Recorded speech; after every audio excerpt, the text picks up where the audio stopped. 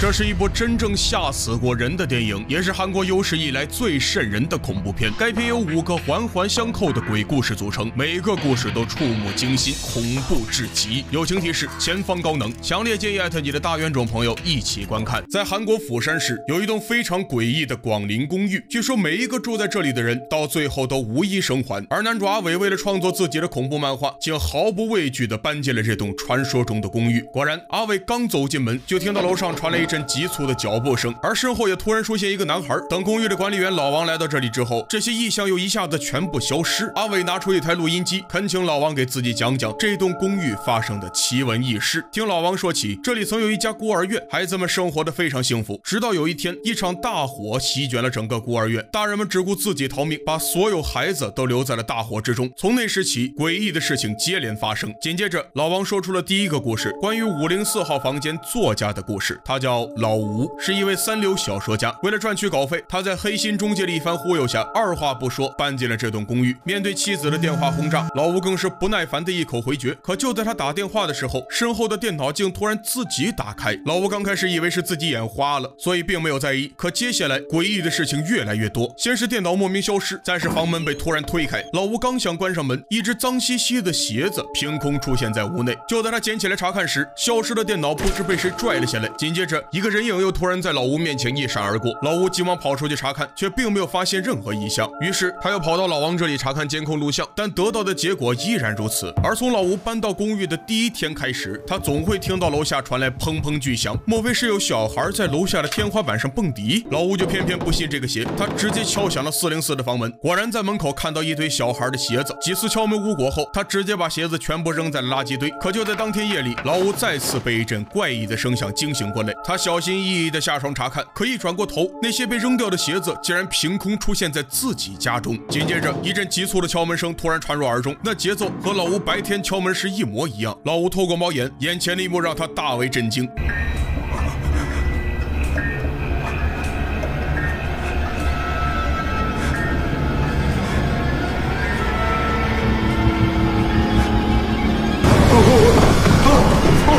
被吓得倒在了地上，可那些鞋子竟突然四散在地。老吴本能的抬起头来，果然看到一群孩子在天花板上蹦迪。之后，他就彻底消失在这栋公寓之中。阿伟听完老吴的故事后，通过女友阿娟的调查，居然真的找到了老吴的真实信息。所以，这栋公寓真的有鬼魂存在。这么好的素材，简直千载难逢。于是，他再次找到老王，询问更多关于广陵公寓的灵异事件。老王见这人不怕死，直接将九零七号房的故事一口气说了出来。这里曾住着一位名叫阿娇的女孩。这天早上，他刚洗完澡，就听到收音机里报道一则可怕的新闻：一名男子竟在一夜之间将妻女残忍杀害，实在令人毛骨悚然。而阿娇的男友恰巧也是一位已婚男。晚上，阿娇突然从睡梦中醒来，可男友却怎么也叫不醒。就在这时，她听到浴室传来一阵不寻常的动静。阿娇谨慎地向前查看，可只是一转头的功夫，竟看到浴室里突然出现一个可怕的身影。阿娇好奇地朝浴室慢慢走去，但当她打开门之后，里面竟只有一个录音机。阿娇以为是自己洗澡的时候拿进去的。所以并没有在意，但就在第二天和男友道别时，诡异的一幕再次发生。男友明明在房间，可声音却从浴室传来，这到底是怎么回事？直到两名警察突然找上门来，阿娇才终于知道，原来男友就是新闻里通报的杀人犯。但由于她一直深爱着男友，便在送走警察之后，连忙收拾行李，准备带着男友一起跑路。可男友依旧在浴室里洗澡，地上还扔着几件带血的衣服。阿娇见状，急忙捡起衣服，但男友却发出一声严肃的警告。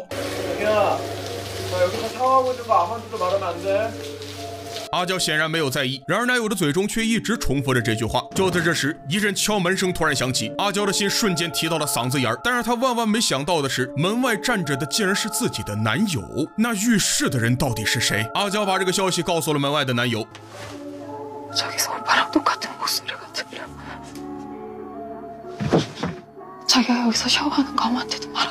男友听后立刻拿起锤子向浴室缓缓走去，可就在他开门的时候，突然停了下来。근데선아야나여기서샤워하고있는거한마디도말하지말랬는데오빠왜그랬어 下一秒，整个房间瞬间被染红，阿娇被吓得瑟瑟发抖，而男友也露出了诡异的微笑。听完阿娇的故事后，阿伟再次来到了物业室，可老王却迟迟不见踪影，就好像凭空消失了一样。阿伟疑惑之余，竟看到一个男人颤颤巍巍地躲在桌子底下。阿伟一眼就认出了这个男人就是之前坑骗老吴的黑心中介，而他之所以会躲到这里，想必也一定经历过某些恐怖的事儿。面对老婆的突然诈尸，中介早已习以为常。他甚至用自己赚来的黑心钱为人偶老婆买了一条大金链子。可就在夜深人静时，他就被水槽里的异响突然吵醒。中介走过去一看，竟发现自己的钱包不知被谁硬生生塞了进去。于是第二天一早，他就请来一位管道工查看故障。但是他万万没想到的是，对方竟在水槽下面翻出了一大把头发。中介认为应该是老婆出现了故障，于是便打算将她送出去维修。可还没来得及出门，水槽里再次传来异响。他刚想联系白天的管道工，一转头。床上的人偶老婆竟离奇消失，中介彻底懵了。他惊慌失措地寻找人偶，水槽里竟突然伸出了一双手。那条手链也无故出现在自己脚下，但只是一转眼的功夫，一切又突然恢复正常，好像什么事都没有发生过那样。同事知道情况后，便告诉中介，广陵公寓曾经是广陵教信徒的聚集之地，后来不知道发生了什么，整个教会的信徒竟然跟随着教主集体自杀，才导致现在发生了这么多怪象。可即便如此，中介依然不信这个邪，他当晚就重新买了个人偶，为庆祝新婚快乐，他和新老婆搞起了烛光晚餐。就在气氛逐渐升温之时，水槽里再次传来异响，中介顿时被吓得胆。战心惊，一回头又看到刚买来的人偶突然扭过头去，直到他缓缓靠近水槽之后，才终于发现，原来这正是之前莫名消失的前妻。但下一秒，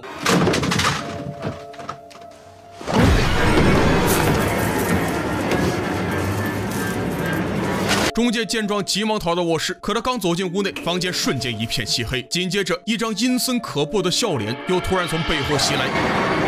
听完以上三个故事，阿伟立刻动笔画上了漫画，果然收获了读者的一致好评。在主编的催促下，他继续创作下面的章节。于是阿伟只好放弃和女友阿娟相聚的机会，再次来到老王面前。老王听后，面带一丝意味深长的微笑，给阿伟讲了一个关于六零四房间的故事。房间的主人名叫小帅，刚毕业就在好友阿文的介绍下搬到了广陵公寓。可他刚走进门，就看到房间里长满大大小小的霉菌，甚至连桌上的饭菜也同样如此。可阿文却直接拿起筷子，津津有味地享受桌上的佳肴，丝毫没有意识到霉菌的存在。如此诡异的一幕让小帅直冒冷汗。于是，在第二天一早，他就来药店买了一瓶除霉剂，将房间彻头彻尾的打扫了一番。谁知在打扫的过程中，小帅无意发现了一间带锁的房间。打开一看，里面竟然全是霉菌，而在房屋的正中间还挂着一张诡异的全家福。小帅没有多想，连同这间屋子也一起打扫干净。等阿文晚上回家后，发现房间整洁如新，就连全家福都被擦得一干二净。可他非但没有感谢小帅，反而直接将他按在了墙上。왜 그랬어? 네가 뭔데 개새끼야? 우리 엄마 아빠를 우리 엄마 아빠 돌려내! 돌려내라고 小帅意识到阿文好像有些精神问题，便急忙收拾东西，打算离开。可他刚来到客厅，竟然看到地面上出现一副人形眉印，紧接着一个古怪的人影也瞬间从房梁一闪而过。当小帅再次回过头来，地上的眉印又突然消失不见。小帅惊慌错愕之时，身后的房门竟无缘无故的自己打开了。走进去一看，房间里再次布满霉菌，并以肉眼可见的速度向四处蔓延。小帅瞠目结舌的望着眼前的一幕。就在这时，阿文突然出现在身后，并死死的盯着对方。小帅被吓得仓皇后退。可下一秒，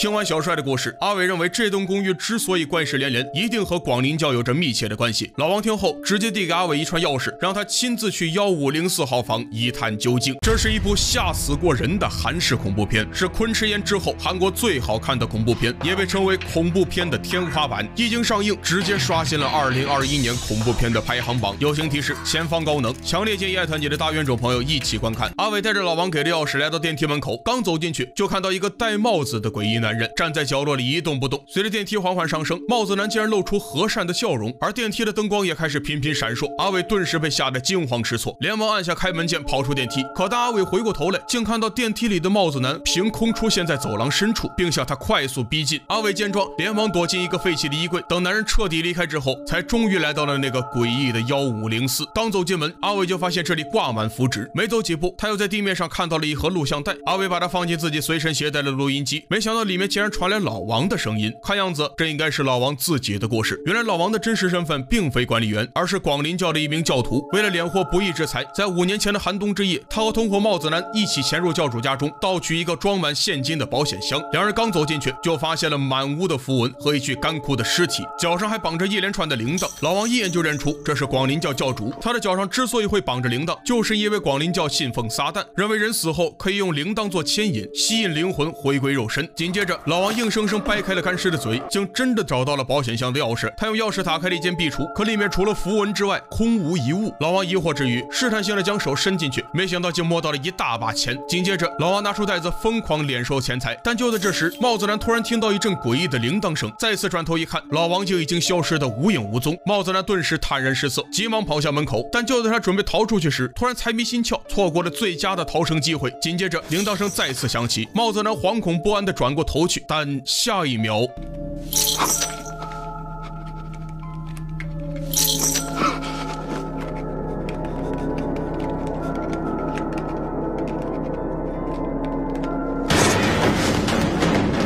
可当他走到门口，铃铛声突然停了下来。他好奇地转身查看，就在这时。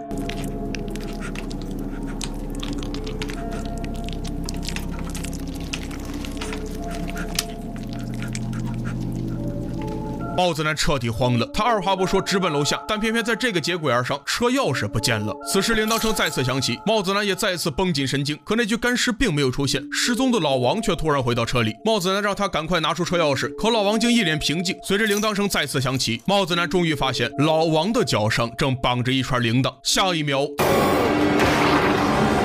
听完老王的故事，阿伟回过神来，竟发现自己此时就站在那间壁橱前。紧接着，壁橱的门突然敞开，阿伟看向那深不可测的渊洞，真正的深渊也在背后凝视着他。随着干尸一声嘶吼，阿伟瞬间被关在了壁橱之中，无论他怎么挣扎，都无济于事。透过狭小的缝隙，阿伟看到一个熟悉的身影缓缓走来，那正是老王。随后，老王幻化成阿伟的模样，离开了幺五零四，只留下无尽黑暗中一声歇斯底里的惨叫。而在阿伟来到这里之前，他。的女友阿娟无意在家中翻出了一卷录像带，里面记录的是阿伟在公寓里的全部录音。但诡异的是，里面竟只有阿伟一个人的声音，根本没有什么老王。担心男友会发生危险，阿娟急忙骑车赶往广林公寓。就在他四处寻找时，阿伟缓缓走了出来，面无表情，凝视着前方。此时，阿娟突然意识到了什么，而阿伟也露出了一丝丝诡异的微笑。如果最开始的老王并不是真正的老王，那么广陵公寓里发生的一切会不会是提前计划好的呢？而等待阿娟的。又将是一场怎样的轮回？好了，今天的故事就到这里，我是小班，咱们下期见。